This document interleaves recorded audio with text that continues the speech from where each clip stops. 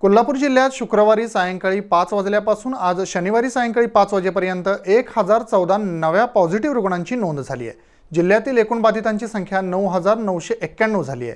या काळात एकशे सत्तर जणांना डिस्चार्ज देण्यात आला आहे. कोल्हापूर जिल्ह्यात आज सायंकाळी पाच वाजता संपलेल्या चोवीस तासात तब्बल एक हजार चौदा कोरोनाबाधित रुग्ण आढळलेत.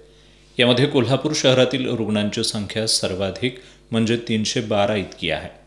त्यापाठोपाठ जिल्ह्यातल्या नगरपालिका क्षेत्रांमध्ये दोनशे तीस कोरोनाबाधित रुग्ण आढळलेत.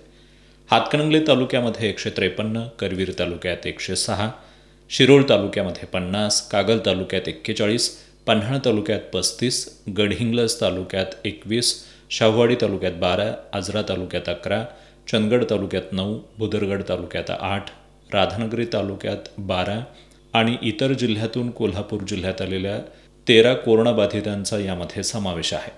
चोवीस तासात एकशे सत्तर जणांना डिस्चार्ज देण्यात आला आहे त्यामुळं आत्तापर्यंत कोरोनावर यशस्वीरित्या मात केलेल्यांची संख्या चार हजार एकशे एकवीस इतकी झाली आहे.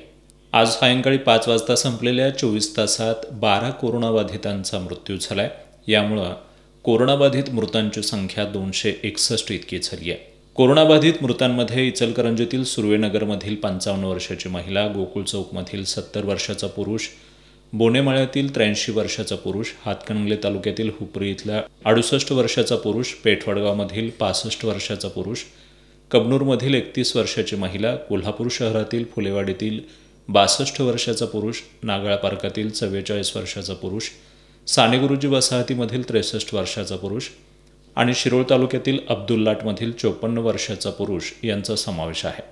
सध्या जिल्ह्यात पाच हजार सहाशे नऊ कोरोनाबाधितांवर उपचार सुरू आहेत.